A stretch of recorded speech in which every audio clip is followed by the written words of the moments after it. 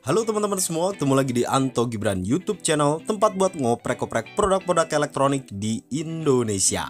Nah teman-teman, di video kali ini gue pengen ngasih tutorial singkat tentang Bagaimana cara menghubungkan laptop kalian ke Smart TV kalian di rumah Tentu saja tanpa kabel HDMI maupun VGA dan juga tanpa koneksi internet. Langsung aja yuk Hal pertama yang harus kalian perhatikan adalah memastikan laptop kalian sudah memiliki Windows 8.1 ke atas teman-teman. Cara ngeceknya sangat mudah ya, tinggal masuk ke Windows Setting kemudian pilih Sistem. Di menu sistem ini di paling bawah kalian pilih About teman-teman ya. Di menu About ini kalian bisa mengetahui versi Windows dari laptop kalian. Di video ini gue nyobanya pakai Windows versi 10 ya teman-teman ya. Setelah itu, kalian pilih device di bagian Windows Setting. Kemudian, klik tanda plus yang di paling atas atau add Bluetooth or other device, teman-teman. Setelah itu, kalian akan melihat tiga pilihan, tapi kalian pilih yang wireless display. Setelah kalian pilih wireless display, maka otomatis laptop kalian akan mendeteksi smart TV mana yang kompatibel di sekitar laptop kalian.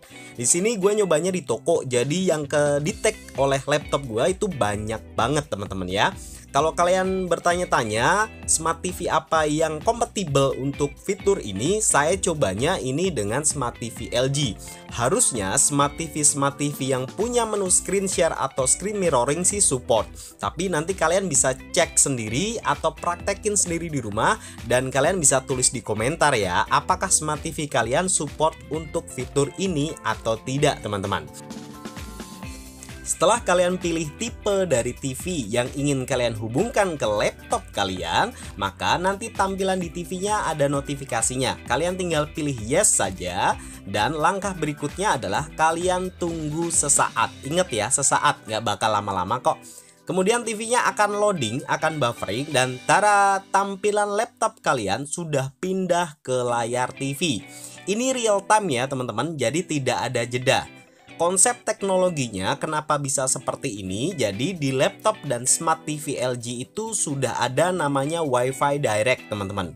WiFi Direct itu kecepatannya 20 kali dari Bluetooth. Jadi real time, teman-teman. Kalau Bluetooth kan kita kirim device penerimanya loading dulu, terima dulu baru bisa play. Kalau dengan WiFi Direct itu real time teman-teman. Jadi yang tampil di device pengirim sama penerima itu sama.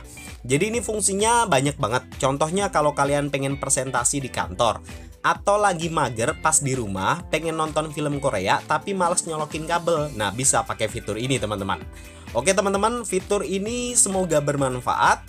Cukup sekian saja video tutorial kali ini. Jika kalian suka dengan video ini, atau suka dengan tutorial-tutorial Smart TV lainnya, jangan lupa ya untuk tinggalkan komen yang positif, klik like-nya, dan jangan lupa subscribe. Salam ngoprek-ngoprek teman-teman, tetap sehat dan lawan corona.